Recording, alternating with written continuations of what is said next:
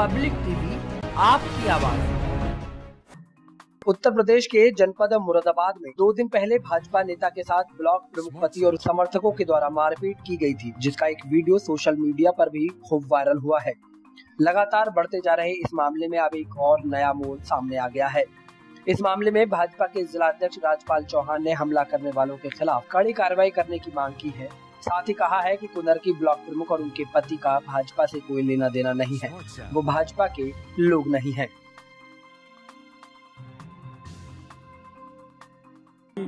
शर्मनाक घटना है। और भारतीय जनता पार्टी का जो भी कार्यकर्ता होता है बड़ा मतलब आचार विचार के बड़ा अच्छा होता है और वो ऐसा कोई काम नहीं करना चाहता। लेकिन ये जो घटना जिन्होंने अंजाम दिया है और ये अंजाम तो ऐसे लोग तो आज की तारीख में या तो जेल में जो गुंडे हैं। हमारी सरकार जब से आई दोबारा सरकार आई है या फिर चले गए बाहर ऊपर चले गए। ये ये घटना बहुत दुखद घटना है और इसकी निंदा की जाती है पूरी पूरी तरह हम जो संगठन का व्यक्ति था हमारा वो उसने कुछ गाली नहीं दी कोई उसने उनका नुकसान नहीं करा उसका कोई माल नहीं चुराया। फिर भी उसके साथ जो घटना की है वो बक्से नहीं जाएँगे किसी भी हालत में। वो निष्ठावान लड़का है। पार्टी में पार्टी में का पार्टी का कार्यकर्ता है वो। और पार्टी के सभी जो कार्यक्रम होते हैं उनमें भाग लेता है वो। उसका उसका कहीं कोई ऐसा रोल नहीं था जो इस झगड़े को जो है जानबूझ के इसको उस लड़के को अगर वो अपनी जान नहीं बचाता जितने लोग थे तो मैं समझता उसकी जान बचनी मुश्किल थी। जिन लोगों ने मारपीट किया क्या वो पार्टी के कार्यकर्ता नहीं नहीं पार्टी का कोई कार्यकर्ता हमारा ऐसा काम नहीं करता। पार्टी कार्यकर्ता सब समझदार होते हैं पार्टी के निष्ठावान होते हैं। ये कहीं हमारी कोई पार्टी से लेने देना नहीं कार्यकर्ता होगा। ये समाजवादी के लोग हैं। और इनको भी ये शायद समझ आनी चाहिए कि बीजेपी सरकार में ऐसे लोगों के खिलाफ हमेशा कार्रवाई होनी है। और अभी ब्लॉक प्रमुख है क्या वो भाजपा में शामिल हुए हैं? क्या वो जो जिन ब्लॉक प्रमुख की बात की जाए देखिए ब्लॉक प्रमुख की बात है ब्लॉक प्रमुख समाजवादी का बना है। हम्म। और समाजवादी का बनने के बाद मेरी जानकारी में कहीं भी इसको पार्टी ने ज्वाइन नहीं कराया पार्टी में जिला अध्यक्ष ज्वाइन कराते हम्म। या प्रदेश अध्यक्ष कराते तो इसे दोनों में से किसी ने ज्वाइन नहीं करा। ये पार्टी से कोई लेना देना का नहीं है। जो वीडियोज़ हैं वो उस तरीके से कहा जाए कि आपसे कोई राय नहीं ली है। नहीं किस संबंध में?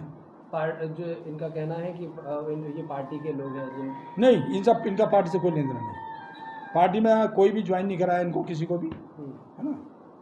हमारी पार्टी में तो आचार विचार जिनके अच्छे होते हैं वे लोग या जो संगठन काम करते हैं वो लोग रहते हैं। के नाम मालूम है जिन लोगों ने मारपीट नहीं मुझे मालूम नहीं मैं इनको नहीं जानता। जिन लोगों ने मारपीट की है उनके खिलाफ कार्रवाई होनी चाहिए। बिल्कुल होनी चाहिए मेरी प्रशासन में बात हुई है। प्रशासन से मेरी बात हुई है। प्रशासन कार्रवाई करेगा। इसकी कठोर कार्रवाई होगी। इवन के मेरी डीएम साहब और एसएसपी साहब से बात हो गई है। है ना? ये लोग बक्से नहीं जाएँगे। बंटी ठाकुर पे कोई पद है आपकी पार्टी में? हाँ बंटी ठाकुर हमारा कार्यकारिणी का सदस्य युवा मोर्चे में है। जिला कार्यकारिणी का सदस्य भी है और युवा मोर्चे का भी कार्यकर्ता है। और जिलानी और ये लोग ये ये पार्टी के लोग नहीं ये वो मैंने बताया हमारी पार्टी ने ज्वाइन नहीं किया हमने जो ज्वाइन नहीं कराया ना कहीं उन्होंने ज्वाइन कभी किया नहीं हमारी पार्टी ने।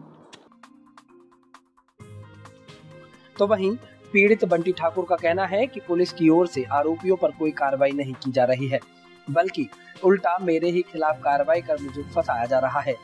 बंटी का कहना है कि ब्लॉक प्रमुख के खिलाफ शिकायत कर जाँच कराई जा रही है इसकी वजह से ही मुझे फंसाया जा रहा है।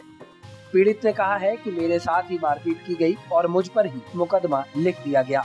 बंटी ने अपनी ही पार्टी के कई नेताओं पर भ्रष्टाचार में लिप्त होने के भी आरोप लगाए हैं। आपको बता दें कि भाजपा के जिला अध्यक्ष राजपाल चौहान से हमने इसलिए बात की क्योंकि भाजपा के कई लोगों का कहना था कुनरकी की ब्लॉक प्रमुख और उनके पति भाजपा में शामिल हुए हैं, जिसके बाद उन्हें सदस्यता भी दिलाई गई थी। लेकिन राजपाल चौहान ने इन सभी बातों को नकार दिया है।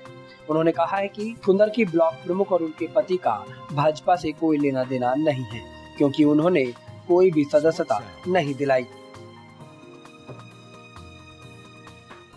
नाम पुष्पेंद्र सिंह और बंटी ठाकुर मैं भाजपा जिला कार्यकारिणी सदस्य हूँ। भारतीय जनता पार्टी का युवा मोर्चे का मेरा ग्राम बसेरा खास है। थाना कुंदर के जिला मुरादाबाद का रहने वाला हूँ। अच्छा ये बताइए, अभी जो विवाद हुआ था, वो क्या विवाद था? ये विवाद सर हुआ था, मैं अपने घर से आ रहा था और लालपुर होता हुआ, रतनपुर होता हुआ से एक संघ के अधिकारी के पास आ रहा था, मुरादाबाद। उनसे वार्तालाप हुई थी, बोले, बंटी, आ जाओ, मैं उनसे मिलने के लिए जा रहा था बुद्धि विहार के लिए संघ के अधिकारी के पास। इन्होंने मुझे घेरा पीटा। मेरे साथ लूटपाट करी। मुझे जान से मारने की धमकियाँ पहले से भी आ रही हैं क्योंकि मैं इनकी जाँच करा रहा हूँ। चार महीने से लगातार माननीय जिला अध्यक्ष जी ने भी अपने व्हाट्सएप से डीएम साहब को कहा था कि जाँच करवाओ इसकी। हम्म, राजपाल चौहान जी ने।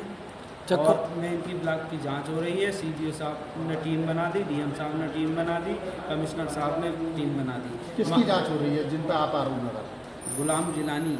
की कौन? पत्नी नगमा जिलानी। कौन है ये? ब्लॉक प्रमुख। अच्छा किस पार्टी से हैं?